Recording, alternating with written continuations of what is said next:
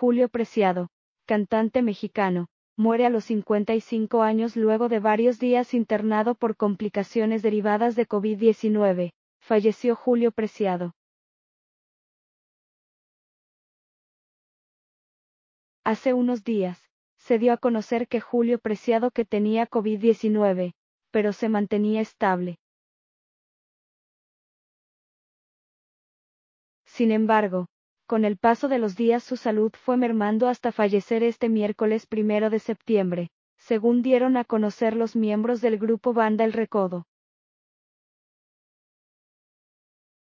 Hoy Julio Preciado, ya es polvo de las estrellas más brillantes del universo, se menciona en la cuenta oficial de Facebook.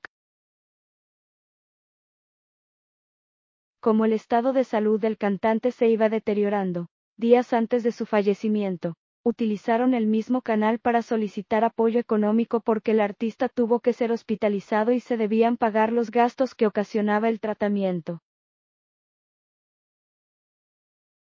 Amigos, por más que hemos intentado mantener esto personal, y con la esperanza en la mano de que todo volviera a la normalidad pronto, no ha sido así, mencionaron el pasado martes. Estamos haciendo una cooperación voluntaria para apoyar los gastos derivados en su atención médica.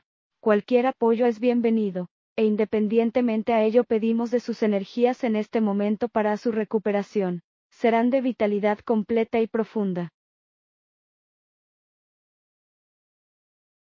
Pese a todos los esfuerzos, Julio Preciado murió a los 55 años de edad a través de las redes sociales los fans de la banda ofrecieron sus condolencias y su apoyo a los integrantes del grupo.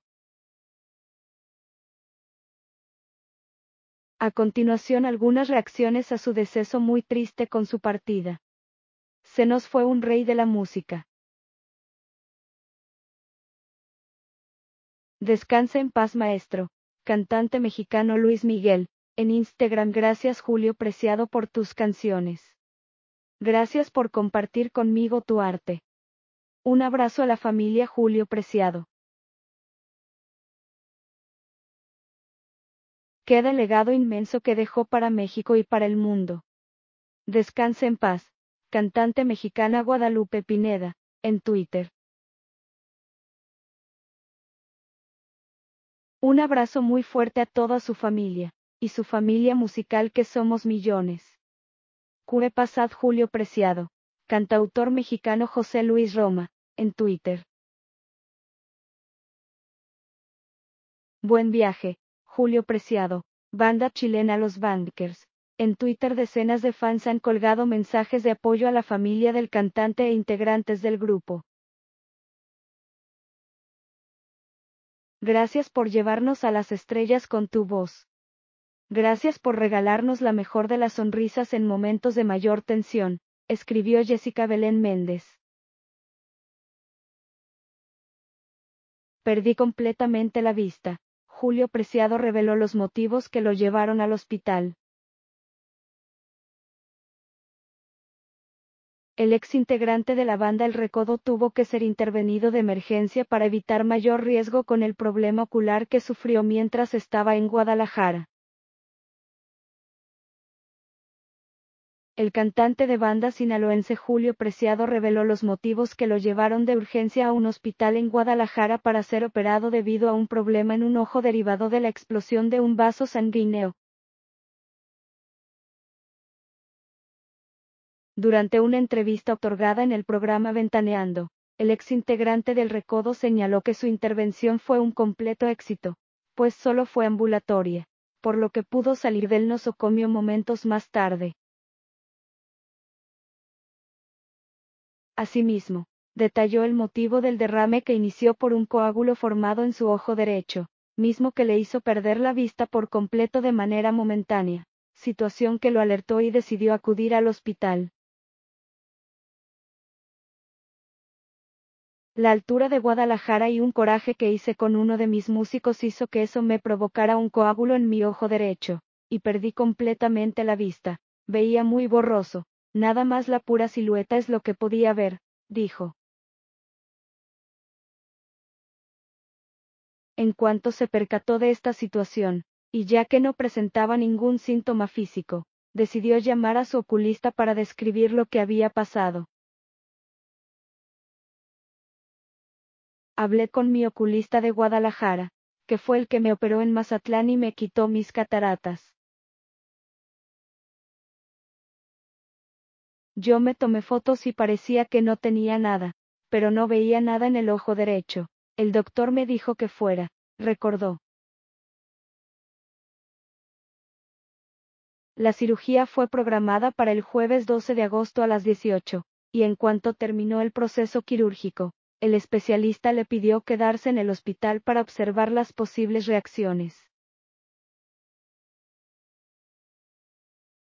Me operó el ojo ayer a las 6 de la tarde, y me dijo, quédate, mañana a ver cómo reaccionas, y ahorita en la mañana fui, me quité el parche, me checó el ojo y me dijo, estás muy bien, Solo te voy a dejar un día más con el parche para mañana sábado ya quitártelo, y ya te voy a dejar las pastillas y las gotas, pero no va a pasar de ahí, en tres días vas a estar bien, detalló Preciado.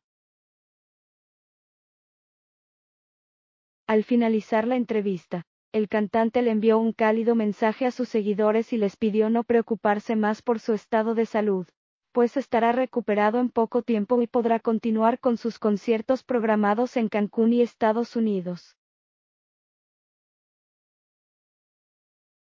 Para que la gente no se mortifique, no voy a cancelar nada, fue algo ambulatorio, sentenció. Juliana Preciado, hija de Julio, fue la primera en otorgar información respecto al estado de salud de su padre. fue durante una corta entrevista en el programa de primera mano cuando aseguró que estaba fuera de peligro. Está muy bien, con la baja de peso, con los análisis que se ha hecho del riñón, todo está muy bien y nada más la complicación que se nos atravesó, dijo. En menos de dos meses, es la segunda ocasión en la que Julio Preciado visita el quirófano. pues fue el pasado mes de junio cuando informó que se sometería a la manga gástrica para lograr bajar de peso. Esta decisión no es por vanidad, sino por salud, para darme un descanso a mí mismo, a mi cuerpo y a mi familia. Con esto comienzo una nueva etapa, una saludable y así van a bajar mis niveles de glucosa, la hipertensión que padezco estará más controlada, entre otras cosas, comentó el sinaloense al tiempo que recordó vivir con obesidad desde los cuatro años. Ahora, 50 años más tarde, decidió revertir esta situación, que ya le afectaba las piernas. Hasta el momento ha bajado 23 kilos y mencionó que su calidad de vida mejoró tras tomar esta decisión.